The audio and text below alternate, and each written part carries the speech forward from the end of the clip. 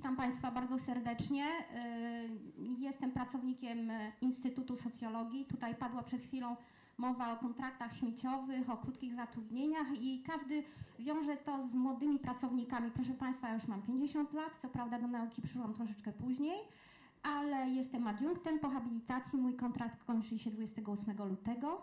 Pomimo tego, iż e, miały być nadzieje na kontrakt nieśmieciowy, okazało się, że jednak e, dostanę kontrakt, ale ciągle o ograniczonym czasie. Więc nie jest to, proszę Państwa, przynajmniej u nas na naszym uniwersytecie, los młodych pracowników. Tłumaczy się to tym, że niektórych nie można zwolnić i dlatego, że oni źle pracują, to ja y, ponoszę konsekwencje tego, że jestem pracownikiem prekarnym. Proszę Państwa, pomimo tego, iż mam afiliację Instytutu Socjologii, po prawej stronie widzą Państwo moją alma mater, École des études sociales, czyli nie można mi powiedzieć, że nie jestem mobilnym naukowcem. Byłam też na Harvardzie, e, gdzie prowadziłam badania i e, w Instytucie, e, znaczy na Wydziale Historii Nauki, w związku z czym dzisiaj postaram się Państwu opowiedzieć troszeczkę inną historię niż te, które dotychczas słyszeliśmy i mam nadzieję, że to będzie jakiś taki przerywnik, że Państwo troszeczkę odpoczną, ale z drugiej strony mam nadzieję, że ani Państwa nie przerażę, e, ani nie doprowadzę do tego, że będziemy naprawdę w pesymistycznym e, jakimś nastroju do końca dzisiejszego dnia e, i tak dalej.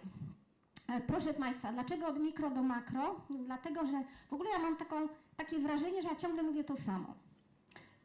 W 2011 roku, jak wracałam właśnie z z samolotem z, ze Stanów Zjednoczonych, ukazał się w Rzeczpospolitej mój artykuł, który był odpowiedzią, dlatego w Rzeczpospolitej na y, kwestię y, tego, jacy polscy naukowcy są leniwi, nie publikują i tak dalej. Ja wtedy się zdenerwowałam, jeszcze będąc na Harvardzie i porównałam y, y, warunki pracy polskich naukowców i wykazałam y, w bardzo prosty socjologiczny sposób. Jestem socjologiem pracy, my mamy bardzo proste narzędzia, więc wszyscy mogli zrozumieć, że to wcale nie jest tak, że my jesteśmy leniwi.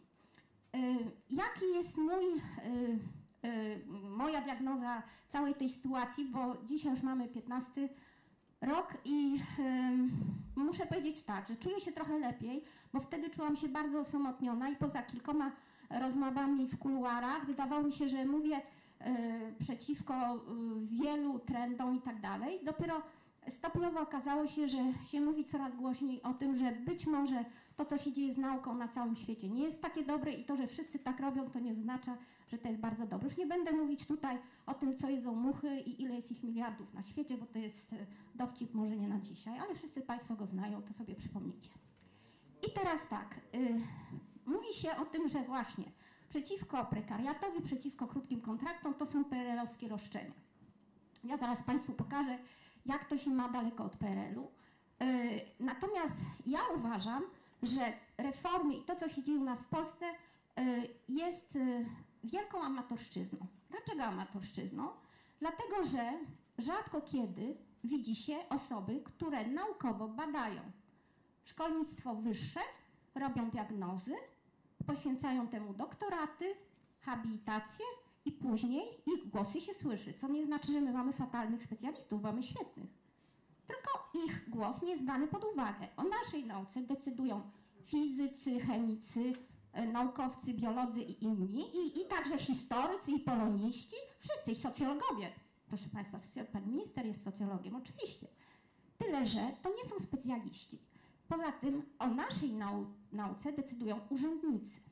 I teraz powołam się na Hughesa, socjolog szkoły amerykańskiej, który wymyślił coś takiego, że y, mówił o roli statusu. To znaczy, proszę Państwa, to, że ktoś jest profesorem, to nie znaczy, że w każdej sytuacji będzie on działał jak profesor. W momencie, kiedy staje się urzędnikiem państwowym, ma już perspektywę urzędnika i tak działa. I to zdanie padło wiele razy na kongresie w Krakowie kilka miesięcy temu. Myśmy zawalili, tak było i tak powiedzieli starsi profesorowie, myśmy zawalili, bo staliśmy się urzędnikami. I to jest moja diagnoza, brak profesjonalizmu. Teraz tak, jest cała literatura na świecie, proszę Państwa, w języku angielskim, jest cała grupa London School of Economics działająca i mówiąca o tym, jak działają systemy grantowe na pracę naukowca w laboratorium. jak działa prekariat i tak dalej. Mogą sobie Państwo spędzić rok czasu czytając i wyrabiając sobie własną opinię, jak to wygląda. Ci ludzie nawet nie wiedzą, co to jest PRL, tak? Teraz tak, mamy doświadczenia innych krajów. We Francji aktualnie odchodzi się od tego, co się nazywa sąd d'excellence. Widziano, że jest to katastrofa. Czyli to są te uniwersytety flagowe. Jeżeli chcą Państwo, ja porozmawiam później w przerwie z każdym na ten temat. Publikacje natomiast teraz czuję się już lepiej, bo jak się otwiera New York Times, Guardian, inne główne dzienniki, to macie Państwo taką opinię właśnie. Wielcy nobliści, naukowcy mówią, młodzi, oni nie pracują dla nauki, oni pracują dla punktów. Co się dzieje? I teraz doprecyzowuję, co to jest nauka, bo tego tu mi zabrakowało dzisiaj.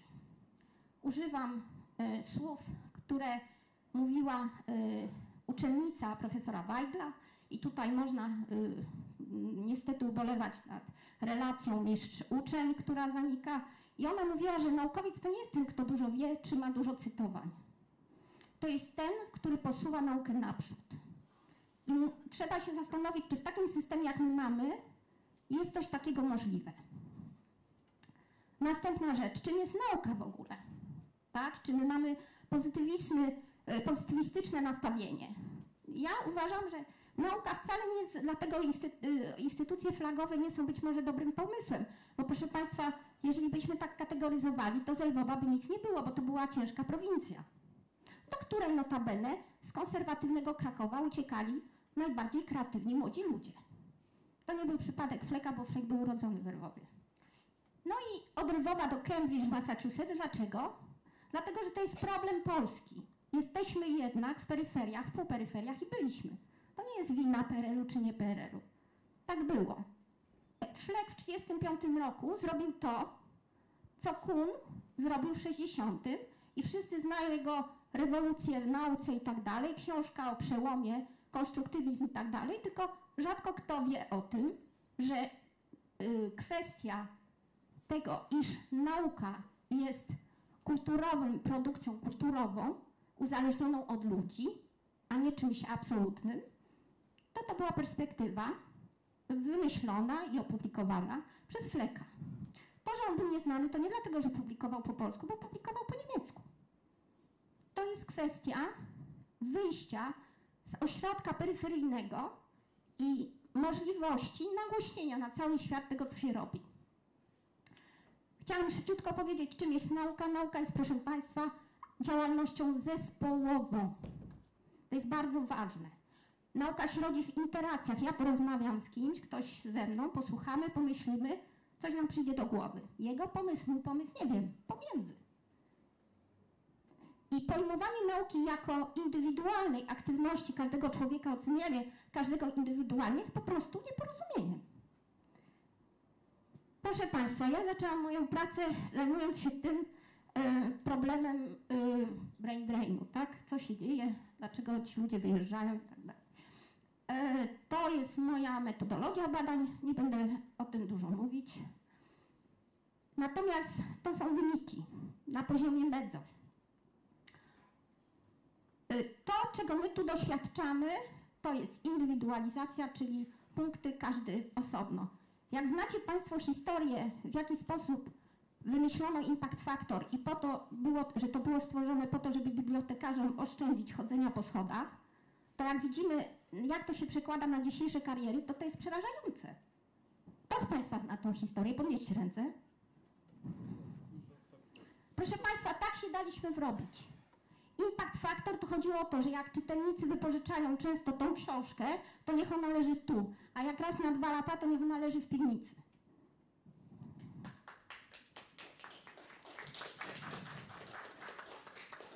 Historycy nauki o tym wiedzą i o tym mówią. I to wszystko jest napisane w tych publikacjach właśnie. E, mamy zmniejszane środki stabilne. W całym świecie, według tych badań, wynika, że niebezpieczną granicą jest proporcja 80 do 20. 80 statusowych, 20 grantowych. Jeżeli na granty w konkursie jest przeznaczone, znaczy w całej działalności instytucji jest 20% grantowych środków, to już się dzwoni na alarm. Uwaga, znajdujemy się na poziomie ryzyka. To jest tak jak inwestycje. Y, Mądre firmy nie inwestują wszystkiego na giełdzie, tylko kupują nieruchomości. Okej. Mamy rozszerzenie więc y, systemu grantowego, mamy komodyfikację y, i tak dalej, mistrz uczeń, relacja, powiedziałam, prekariat, to jeszcze Państwo powiedzą w panelu, no i oczywiście mobilność międzynarodowa i publish or perish presja. To jest szybko to, co nam się funduje, czyli pogoń za grantami, za punktami. I ja to świet, właśnie uważam z punktu widzenia socjologa pracy, że w to się świetnie wpisują osoby zorientowane na karierę. One wiedzą, jak zdobyć grant, jak napisać grant, jak napisać publikację, żeby się opublikowała. Natomiast nigdy z takimi osobami nie porozmawiacie o nauce, spędzicie dwie godziny, wyjdziecie i nie wiecie nic nowego. I nie wiecie nawet, czym ona się zajmuje, albo wiecie, ile ma pieniędzy na granty, wiecie, ile ma impact factor. Mnie się zapytano, ile ja mam impact factor, a mogę powiedzieć, ile mam lat, ile ważę. I czym się zajmuję. Praca zespołowa, czas, oryginalność, pasja, ciekawość, kreatywność, podział pracy, tworzenie poprawnych warunków pracy, motywacje, zaangażowanie w badania, o tym się nie mówi. Tutaj chciałam tylko powiedzieć, że to nie jest nowa historia, że się zaczęło mówić, że to nie jest dobry system. Usłyszeliśmy, że cały świat tak robi, róbmy tak. No proszę Państwa, Nature, czyli Life Science i numer jeden, y, kiedy? 2003, to jest napisane, że daliśmy się wrobić managerialną ideologię obliczania wszystkiego i młodzi studenci myślą o punktach. A to jest to, co się robi wtedy, kiedy każe się humanistom publikować na przykład y, artykuł w zagranicznym piśmie. Nie wiem, czy widzą Państwo ten dowcip, ale mówi się o tym, że e, ta ośmiornica sobie lepiej poradziła z klockami, no bo kota wpuścili w takie warunki, że on oczywiście zdechł. Czyli, że ośmiornica jest bardziej inteligentna od tego kota. I to się nam mówi, że humaniści są durni, bo jeszcze nasi koledzy, ci z Life Science, to sobie lepiej radzą- bo są międzynarodowi. Bardzo dobry dowcip uważam. Proszę Państwa, jest nadzieja.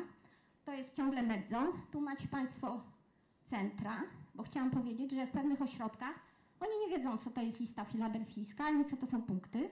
I to są takie ośrodki, na przykład jak Harvard. Na Stanfordzie, jak się zatrudnia, to się czyta publikacje, ale nie tylko na Stanfordzie, bo i w Lozannie, i w Niemczech są takie ośrodki. To są na ogół najlepsze ośrodki. Czyli najlepsze praktyki są zupełnie inne niż te, które są u nas. I tutaj my mamy takie nastawienie trochę postkolonialne, mimo iż oficjalnie nigdy kolonią nie byliśmy. Ale jak my się wpędzimy w kolonializm, no to będziemy byłą kolonią. Tylko trochę szkoda, bo Stany są daleko i nie, nie skorzystaliśmy z tej kolonii, tylko mamy jakieś takie efekty postkolonialne. To uważam, że to jakoś niesprawiedliwie. I to jest to, że u nas nie ma zorganizowanej krytyki tego systemu, bo rzadko kto, ostatnio matematycy się świetnie zorganizowali, powiedzieli, to jest idiotyzm. Tak jest list oficjalny, gdzieś dwa miesiące temu. Ale ogólnie rzadko się mówi, że ten system jest szalony, proszę Państwa. Ja nie namawiam do tego, żebyśmy zmienili e, stopnie parametryzacji czy kryteria parametryzacji indywiduów. To jest idiotyzm. Całkiem po prostu. To trzeba nie myśleć, żeby, i trzeba nie wiedzieć przede wszystkim, żeby zaproponować coś takiego. Więc zależy, na którą, y, znaczy, czy obejmiemy krótko czy długofalową perspektywę. Uniwersytety, które zatrudniają na podstawie własnych kryteriów, mają długofalową perspektywę. A my to tak od horyzontu do framework 7, 6 i tak dalej, od projektu do nowych serii grantowych. Zapytajmy się, kto korzysta z tego systemu. Wiecie Państwo, jak wielką instytucją jest ta instytucja, która nalicza impakty faktory? Oni nie znają kryzysu. Wiecie Państwo, że wszystkie publikacje, znaczy wszystkie firmy publikujące wielkie żurnale naukowe nie znają kryzysu. Tam idą pieniądze tak wielkie, ale wiecie dlaczego? Bo wy, my pracujemy dla nich za darmo, jak idioci. Ja miesiąc temu składałam podanie, musiałam mieć własny artykuł, zapłaciłam 21 dolarów za własny artykuł we francuskiej publikacji.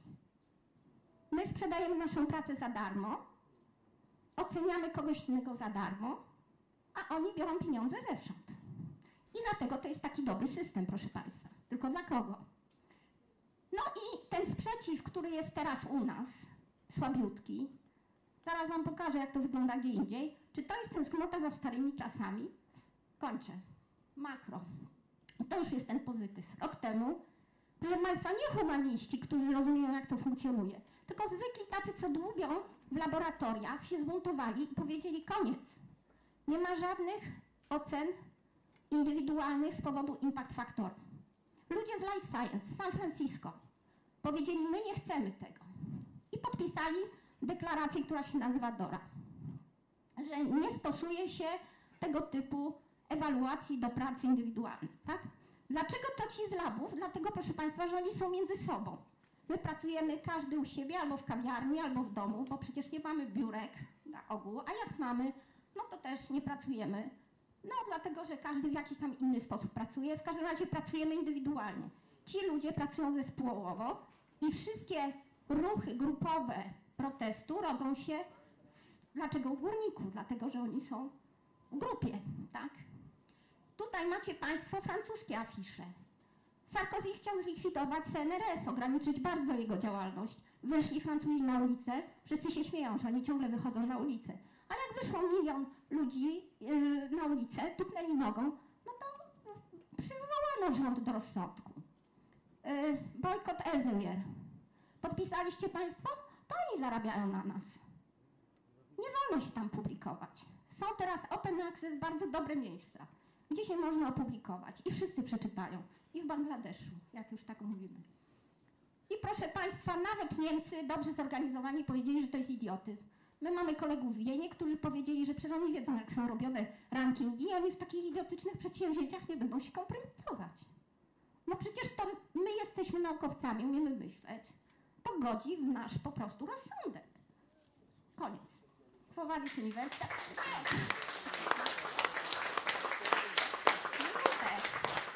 Muszę powiedzieć. Proszę Państwa, teraz tak, ta moja ostra krytyka, czy to jest utopia? Ja nie wiem, ja nie wiem, czy my w ogóle mamy wyjście na cokolwiek innego niż ostre cięcia. Po prostu. Czy nas stać na protest? Ja nie wiem, czy nas stać na brak protestu. E, czy nas stać na...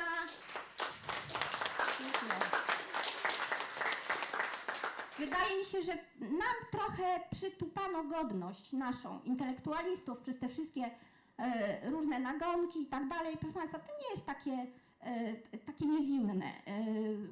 Nagonka na socjologów, na nierobów, na historyków i na innych rzeczy. Wydaje mi się, że należy sobie trochę oczyścić się, ale nie z tego powodu, że my jesteśmy winni czy coś takiego, tylko pomyślcie sobie, kto ma interes w tym, żebyśmy siedzieli cicho. Całkiem po prostu. Jesteśmy jednym z największych e, przedsiębiorstw, jeżeli tak bierzemy grupy, wszystkie uniwersytety w całej Polsce. Jesteśmy niesamowitą grupą pracowniczą. Większą od górników, jakby nas tak policzono. To my też możemy tupnąć nogą i coś zrobić, prawda? Proszę Państwa, Solidarność, to, to, brzmi, to co brzmiało, Solidarność bardzo polska, 81 i tak dalej, to dla mnie socjologa wykształconego we Francji to jest Durkheim. Durkheim, który jako socjolog badał pracowników i wyobrażał sobie solidarność pracowniczą międzynarodową. Proszę Państwa, w 28 roku. I ja widzę dużo pozytywu nad tym, że właśnie na umiędzynarodowieniu, ale nie tym bolońskim czy lista filadelfijska. Nie, na umiędzynarodowieniu takim właśnie pracowniczym. Na tym, że my weźmiemy sobie przykład z naszych kolegów i koleżanek i zrobimy coś z tym systemem, bo oni się już buntują, jest strajk y, za trzy tygodnie adiunktów w Stanach Zjednoczonych i na pewno będzie bardzo mocno y, o tym strajku. Proszę Państwa, wytłumaczę tylko obrazek. Ośmiornica jest bardziej inteligentna od człowieka. Wiecie o tym? Ma synapsy, które szybciej pracują. Uczy się o wiele szybciej od nas. Ale nie zapanowała nad światem. Wiecie dlaczego? Bo jak umiera matka, która dała, znaczy jak rodzi się dziecko, to matka umiera. Nie ma transmisji wiedzy. I my to, co robimy teraz, to zabijamy transmisję wiedzy. A transmisja wiedzy jest główną rolą uniwersytetu, tak? Czyli czeka nas przyszłość ośmiornicy. Po prostu one zwyciężą, a my będziemy ich niewolni, niewolnikami, jak w najgorszym serialu science fiction. I dla Państwa zadanie domowe. Jako y, moja inteligencja każe mi być pesymistką, ale e, ochota do działania robi ze mnie optymistkę. Kto to powiedział? Kto wiedział? No dobrze. Piątka. Dziękuję Państwu bardzo. E, Dziękuję bardzo. E, je- Jedna uwaga uzupełniająca. Myślę, że bardzo dobrze z Pani wystąpienia wynika to, że ten dyskurs dominujący jest też wewnętrznie sprzeczny, bo grantyzacja wcale nie sprzyja twórczości, wręcz przeciwnie, twórczości sprzyja stabilność zatrudnienia naukowców i duże wydatki stałe. Taką, takie wrażenie, że ja ciągle mówię to samo. E, W 2011 roku, jak wracałam właśnie z, samolotem z, ze Stanów Zjednoczonych, ukazał się w Rzeczpospolitej mój artykuł, który był odpowiedzią dlatego w Rzeczpospolitej na y, kwestię y, tego, jacy polscy naukowcy są leniwi, nie publikują i tak dalej. Ja wtedy się zdenerwowałam, jeszcze będąc na Harvardzie i porównałam